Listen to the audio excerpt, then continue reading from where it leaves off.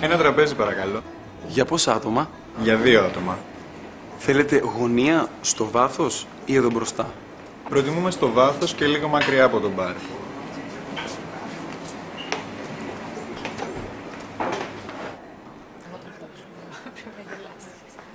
Σας αρέσει αυτό εδώ το τραπέζι; Πολύ ωραία. Τι θα θέλατε να πιείτε; Προς το παρόν κρύο νερό. Θέλετε να δείτε τον κατάλογο των αλκοολούχων ποτών; Αργότερα, με το φαγητό. Αυτός είναι ο κατάλογος των αλκοολούχων ποτών και αυτός ο κατάλογος των φαγητών. Μήπως θέλετε καφέ με το φαγητό σας; Στο τέλος, με το επιδόρπιο.